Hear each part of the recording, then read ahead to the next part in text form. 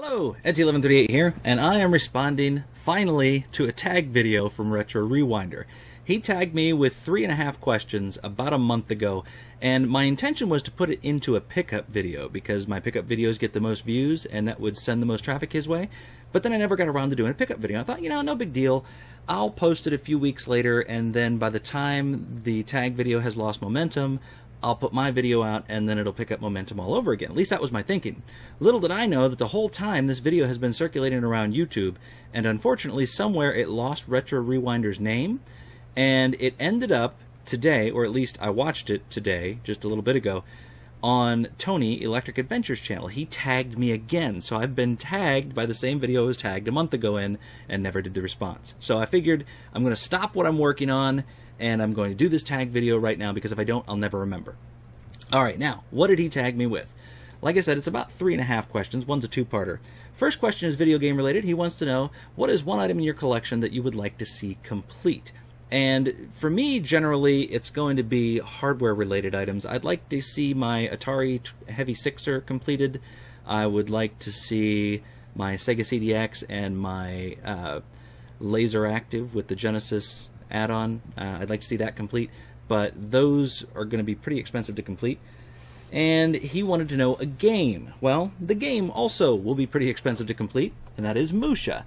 I picked this up loose, got a really good price on it, and I printed up my own cover, slipped it inside a Genesis case, and said good enough because for $35 loose, I was pretty happy at the time. They were going for around 100 loose, and to get it complete, I think it was close to 200 or more. So I'd like to see this complete someday, but that's probably not going to happen. All right, question number two. What is your favorite chip? Now he opened this up to include all kinds of chips, corn chips, potato chips, or crisps, as you might refer to them in other parts of the world.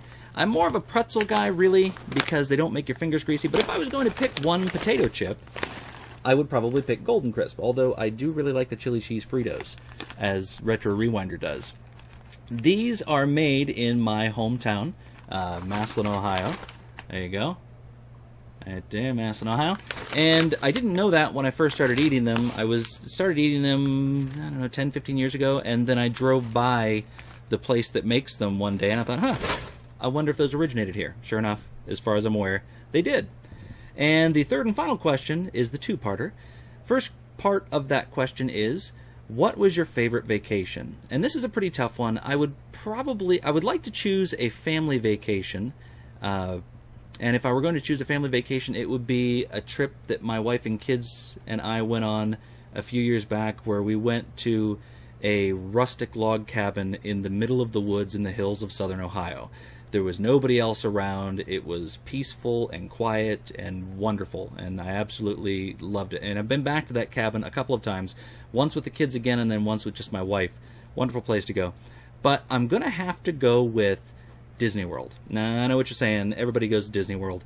But this was my honeymoon. Now, I don't want you to think that that's the kind of thing that I planned.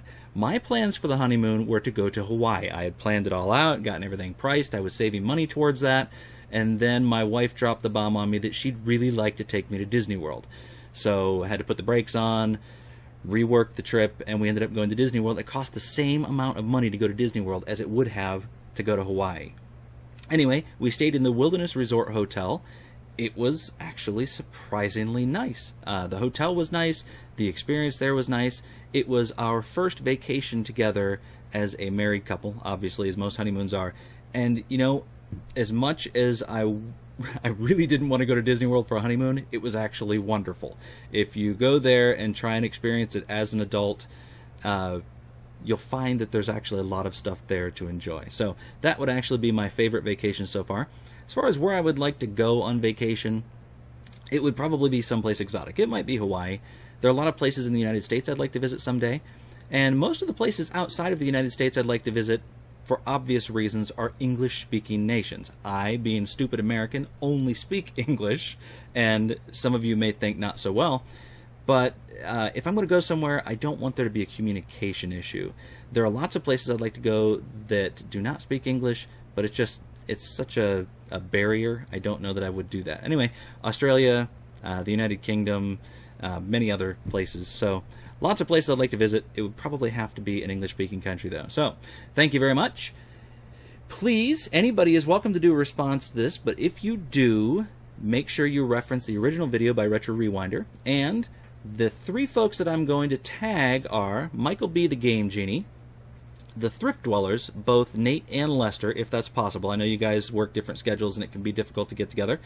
And OK Chief, and again, for the same reasons with the Thrift Dwellers, if it's not possible for you to get Will in the video, I understand. Although, if the two of you could do it together, I'm kind of curious to find out what Will's answers are as well. And I think of you guys as pretty much one channel. So, that, oh, you know what? One more person. I normally only do three for this sort of thing, but I'm going to tag my little brother, Jim. He has a channel here on YouTube called Jim's Mind, so I'd like to hear his answers as well.